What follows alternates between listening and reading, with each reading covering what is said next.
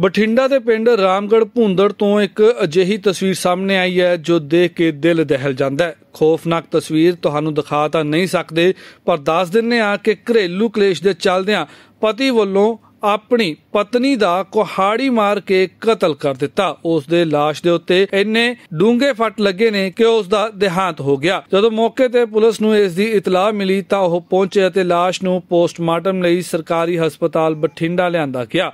ਜਾਣਕਾਰੀ ਮੁਤਾਬਕ ਗੁੱਸੇ ਵਿੱਚ ਆਏ ਪਤੀ ਵੱਲੋਂ ਆਪਣੀ ਪਤਨੀ ਦੇ ਕੁਹਾੜੀ ਨਾਲ ਕਈ ਵਾਰ ਵਾਰ ਕੀਤੇ ਗਏ ਸਨ ਜਿਸ ਦੇ ਚੱਲਦਿਆਂ ਉਸ ਔਰਤ ਦੀ ਮੌਤ ਹੋ ਜਾਂਦੀ ਹੈ। ਮ੍ਰਿਤਕ ਔਰਤ ਦੀ ਲਾਸ਼ ਖੂਨ ਨਾਲ ਲਤਪਤ ਹੋਈ ਸੀ। ਜਦੋਂ ਬਠਿੰਡਾ ਦੇ ਸਰਕਾਰੀ ਹਸਪਤਾਲ 'ਚ ਪੋਸਟਮਾਰਟਮ ਲਈ ਲਿਆਂਦਾ ਗਿਆ ਤਾਂ ਇੱਕ ਵਾਰ ਡਾਕਟਰ ਵੀ ਦੇਖ ਕੇ ਹੈਰਾਨ ਸੀ ਕਿ ਆਖਰ ਕੋਈ ਇੰਨੀ ਹਵਾਨੀਅਤ ਕਰ ਕਿਵੇਂ ਸਕਦਾ ਹੈ। ਸਰ ਜਿਹੜਾ ਇਹ ਮਰਡਰ ਹੋਇਆ ਹੈ ਹਾਦਸਾ ਹੋਇਆ ਇਹ ਕਿੱਥੇ ਹੋ ਵਾਕਿਆ ਇਹ ਪਿੰਡ ਰਾਮਗੜ੍ਹ ਭੁੰਦਰ। ਤੇ ਕਿਹਦਾ ਮਰਡਰ ਹੋਇਆ ਸਰ? ਲੇਡੀ? ਹਰਮਨਪ੍ਰੀਤ ਕੌਰ। ਕਿਵੇਂ ਹੋਇਆ ਉਹਦੇ ਘਰ ਵਾਲੇ ਨੇ ਉਹਦੇ ਕੁਹਾੜੀ ਨਾਲ ਸੱਟਾਂ ਮਾਰ ਕੇ ਸਿਰ 'ਚ ਸੱਟਾਂ ਮਾਰੀਆਂ ਤੇ ਇਸ ਕਰਕੇ ਉਹਦੀ ਮੌਤ ਹੋ ਗਈ। ਕਿਸ ਚੀਜ਼ ਨਾਲ ਸਰ ਸੱਟਾ ਮਾਰਿਆ? ਕੁਹਾੜੀ ਨਾਲ। ਕੁਲਾੜੀ ਨਾਲ। ਤੇ ਹੁਣ ਕਾਰਵਾਈ ਪੂਰੀ ਹੋ ਗਈ? ਪਚਕਾਰ ਵਿੱਚ ਐਫ ਆਈ ਆਰ ਦਰਜ ਹੋਈ ਜਾਂਦੀ ਹੈ ਬਾਕੀ ਕਾਰਵਾਈ ਸਾਡੀ ਮੁਕੰਮਲ ਹੈ ਹੁਣ ਪੋਸਟਮਾਰਟਮ ਕਰਾਵਾਂਗੇ ਲੜਕੀ ਦਾ। ਕਿੰਨੀ ਕੁ ਉਮਰ ਸੀ ਮ੍ਰਿਤਕ ਜਿਹੜੀ ਬਹੁਤ ਜਿੱਦਾਂ 32 ਕੁ ਸਾਲ ਦੇ ਕਰੀਬ ਸੀ ਬੱਚੇ ਬੱਚੇ ਸਰ? ਦੋ ਬੱਚੇ।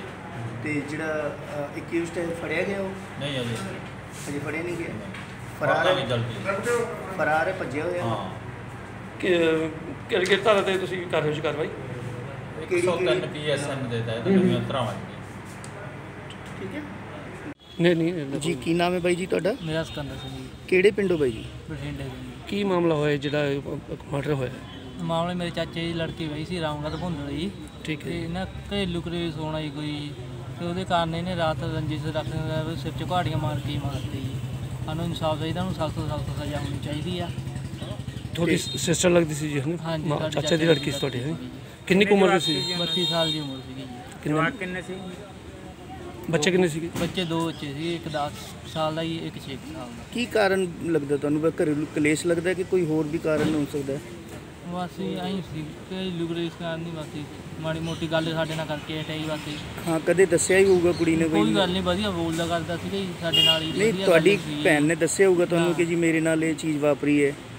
ਪਹਿਲਾਂ ਕਦੀ ਕੋਈ ਇਹੋ ਜਿਹਾ ਕੋਈ ਕ- ਹੋਇਆ ਕੋਈ ਗੱਲ? ਉਹੀ ਕਦੀ ਕੋਈ ਲੜਾਈ ਝਗੜਾ ਪਹਿਲਾਂ ਹੋਇਆ ਹਾਂ ਹੋਵੇ? ਜੀ, ਕੋਈ ਲੜਾਈ ਝਗੜਾ ਨਹੀਂ। ਬਸ ਰਾਤ ਦੀ ਕਤਲ ਕਰਤੀ ਠੀਕ ਠੀਕ। ਜੀ ਸਰ ਕੀ ਨਾਮ ਹੈ ਜੀ ਤੁਹਾਡਾ? ਮੈਂ S Karamjit Singh SHO PS ਕੋਲ ਕਰਮਜੀਤ ਜੀ ਜਿਹੜਾ ਇਹ ਮਰਡਰ ਹੋਇਆ ਕਿੱਥੇ ਹੋਇਆ ਤੇ ਕੀ ਕਹਾਣੀ ਹੈ ਇਹਦੀ ਸਾਰੀ? ਪਿੰਡ ਰਾਮਗੜ੍ਹ ਭੁੰਦਰ ਹੋਇਆ। ਉਹਦੀ ਜਿਹੜੀ ਔਰਤ ਹਰਮਨਪ੍ਰੀਤ ਕੌਰ ਲੜਕੀ ਹੈ 30 32 ਸਾਲ ਦੀ।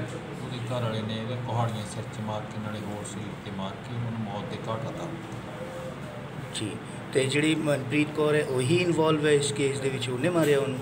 ਨਹੀਂ ਜੀ ਮਨਦੀਪ ਸਿੰਘ ਨੇ ਉਹਦੇ ਘਰ ਵਾਲੇ ਨੇ। ਮਨਦੀਪ ਸਿੰਘ ਨੇ।